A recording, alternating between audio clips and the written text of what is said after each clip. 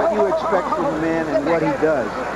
And, and so this fight has become an anticlimax primarily because of what happened in the first fight, because that was not our expectation, and that made it more dramatic.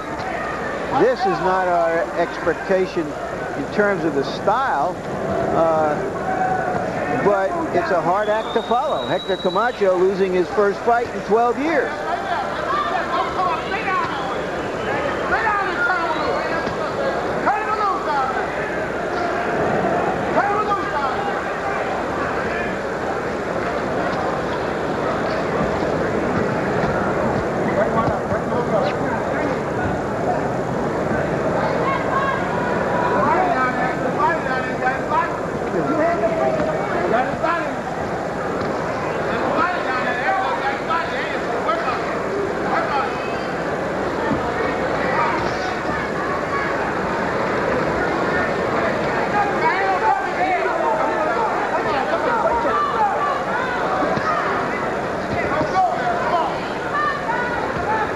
Some people are uh, voting with their feet here.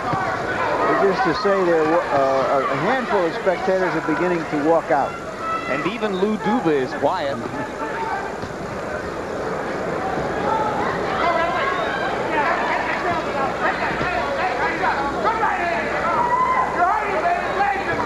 Well, I think you have to give a lot of credit to Jones. Yep, and Emanuel Steward. Another solid left hand by Whitaker, and Jones, as Manuel Steward pointed out between rounds, is able to walk through it. Where's that right hand? Where's that hook? Where's that hook? That's it. Where's that hook? Now, this speaks of a prize fighter's professionalism, that he could come in here against an outstanding uh, young champion and stand there and hustle away uh, now through the best part of 11 rounds.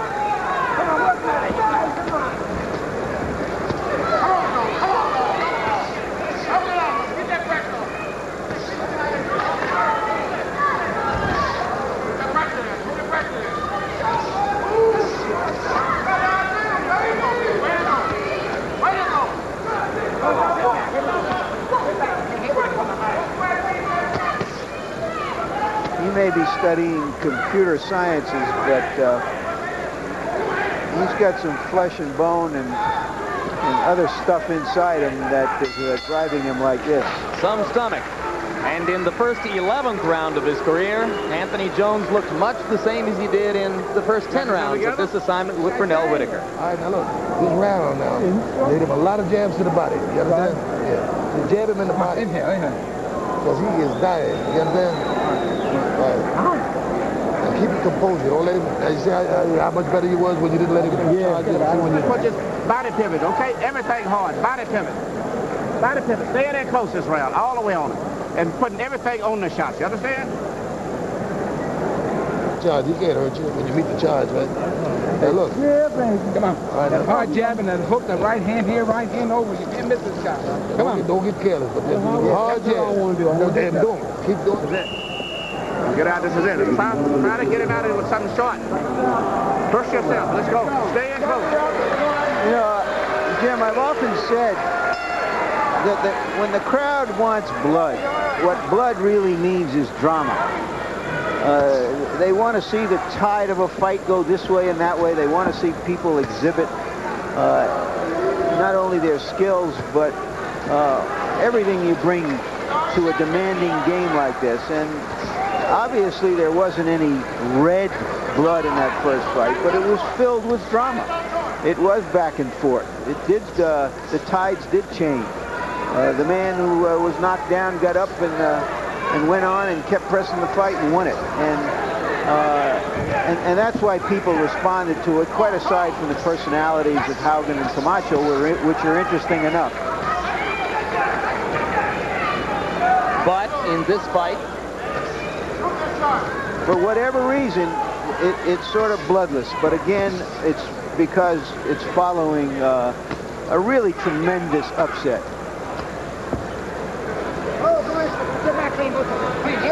Seems to me we had an upset almost as big as this or bigger than that uh, Last February, Jim. Yeah, I remember that. We have seen some unusual things.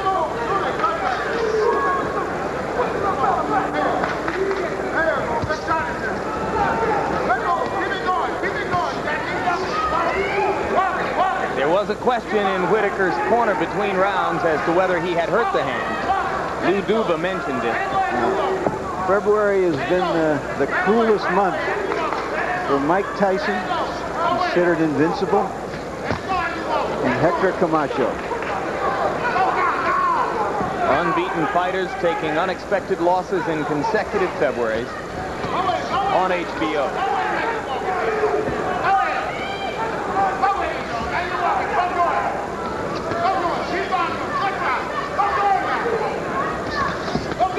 Well, barring a monumental reversal of expectation by the Vegas judges here, Pernell Whitaker is going to have another defense of his lightweight championship in a unanimous decision over Anthony Jones in a bout which will not be remembered much as it comes in the aftermath of the stunning upset of Hector Camacho by Greg Haugen. But as you pointed out at the beginning of the fight, the question now will be, with Camacho temporarily at least out of the picture, where does Whitaker go from here? Will he stay at 135 pounds, continuing to try to pick off opponents in his own weight class, or will he consider Chavez at 140 pounds? Obviously, the money will be in a Chavez fight. Whitaker with a final burst, The good- gunning for a knockout. For the good fighters, they go where the money is.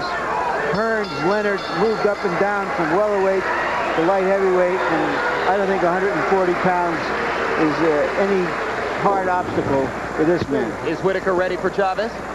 Absolutely. Uh, I'd be happy to see Whitaker or Taylor fighting Chavez. It's not going to be Taylor right away because he has a mandatory welterweight uh, defense. It very well might be Whitaker. And we'll ask him about it when we get into the ring. Who would you favor in that bout? Well, I can't. How do you how do you go against uh, Chavez, who's about 70 and 0? Uh, in my judgment, pound for pound, the best fighter out there. Um, until he loses, he's the best. Leave it alone. Don't even take the All glove right, off. Larry Merchant will go to the ring now in expectation of a conversation with Pernell.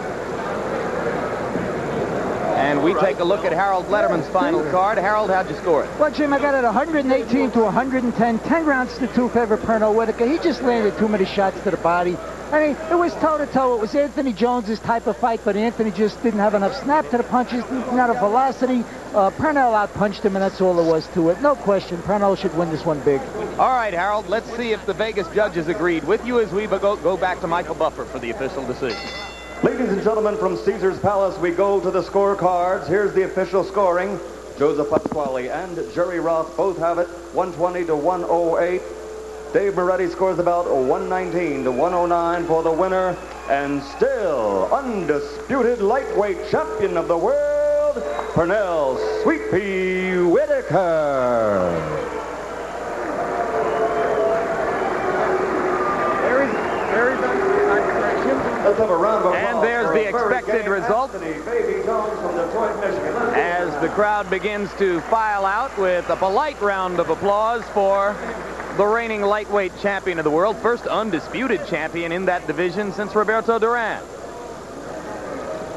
Final punch stat numbers in the bout, and you're going to see that Pernell Whitaker connected on 52% of his punches.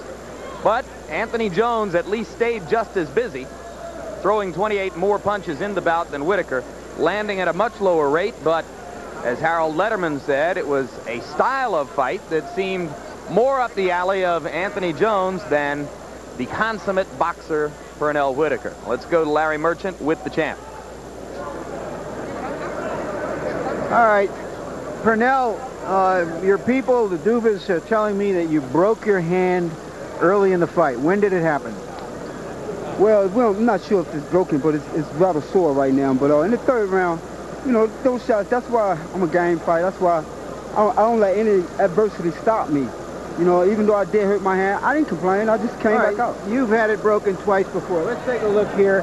There's a punch that was on the on the uh, borderline and you're shaking your hand. Is that when it happened? Is that your recollection? I, I, no, it was before then, but uh, once I threw that shot, I, I landed a little elbow.